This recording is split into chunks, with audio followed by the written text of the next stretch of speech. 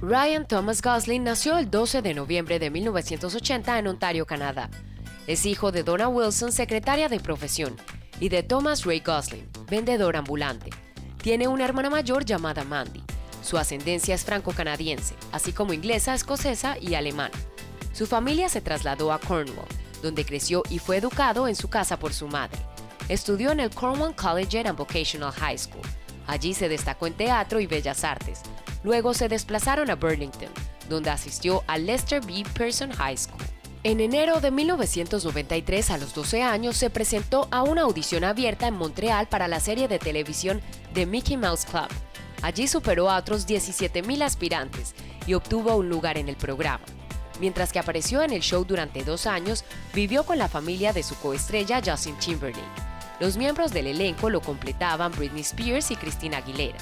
Al mismo tiempo aprendió a tocar la guitarra y el piano, además de cantar y bailar.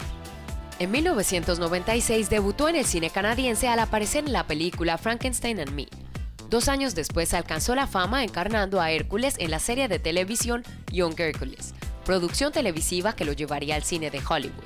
En el 2000 trabajó junto a Denzel Washington en Remember the Titans y en el 2001 interpretó su primer papel protagónico en The Believer, drama neonazi dirigido por Henry Bean por el que logró excelentes críticas.